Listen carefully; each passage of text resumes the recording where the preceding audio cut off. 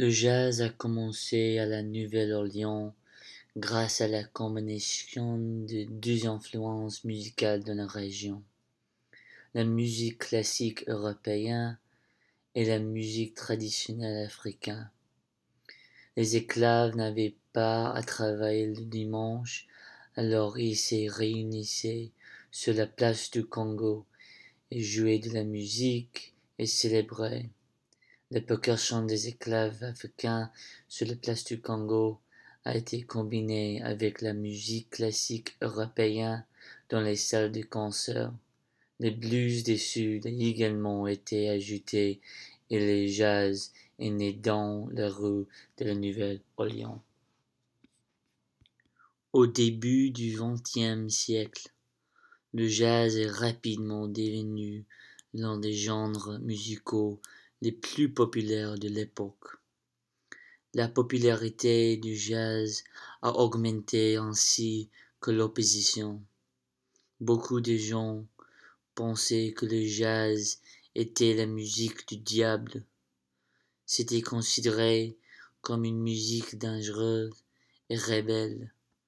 C'est un parti à cause du racisme, parce que les aristocrates blanches détestait un genre de musique principalement joué par les Afro-Américains. Le jazz a été introduit en France pendant la Première Guerre mondiale, quand des musiciens de jazz américains se sont rendus en France pour combattre pendant la guerre.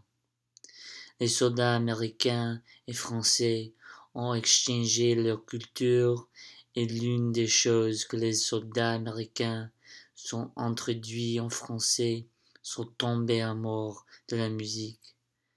Les Français ont rapidement accepté la musique et le jazz est devenu un peu populaire en France.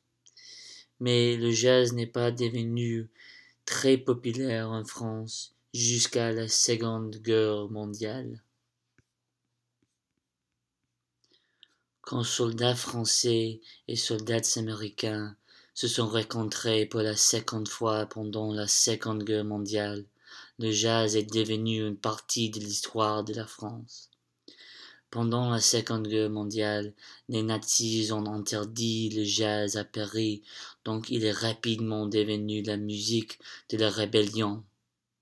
C'était un geste simple, mais simplement jouer du jazz aller dans un club de jazz était une forme de résistance contre le racisme et l'oppression des nazis. Après la guerre, la popularité du jazz a explosé et des musiciens de jazz américains ont commencé à se rendre à Paris. Des musiciens de jazz américains comme Miles Davis, Charlie Parker et Louis Armstrong sont rapidement tombés amants de Paris. Il était plus respecté et accepté à Paris qu'il ne l'avait jamais été aux États-Unis. Parce que du racisme et de la ségrégation aux États-Unis, les musiciens de jazz noirs ont été traités comme des citoyens de seconde zone. Mais à Paris, ils ont été traités avec le respect et l'honneur qu'ils méritaient. Grâce à l'aide de nombreux musiciens et amateurs de musique, le jazz a voyagé de rue de la Nouvelle-Orléans au centre de Paris.